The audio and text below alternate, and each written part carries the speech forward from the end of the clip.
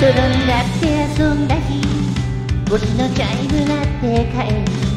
もう何年も何十年経って思い出すの笑顔だ。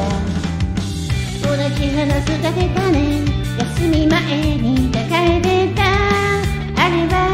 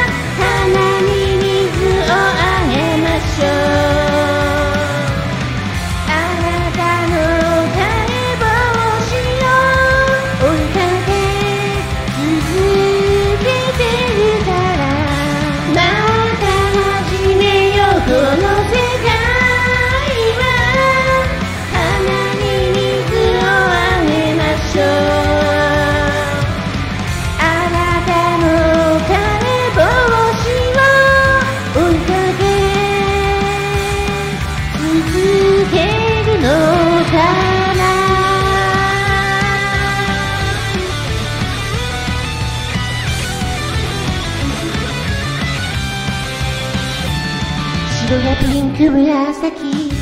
どれか咲いたはずだったよね。もう何年も何十年前で記憶ちょっと曖昧。同じ時過ごしたね。笑いの絵が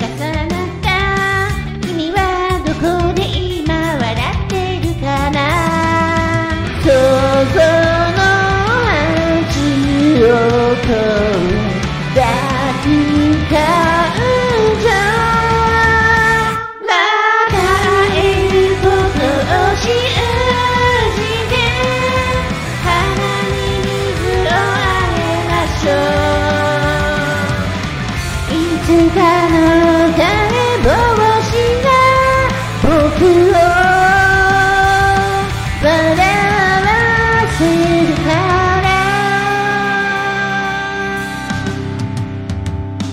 今となっちゃあんまりわからないななんてものをもう何年と何十年前の僕にとっちゃ宝だ結末は答えじゃない。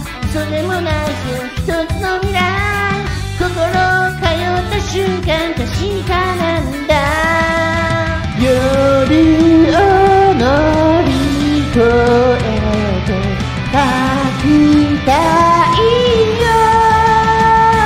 また生まれ変わる時までは花に水をあげましょう。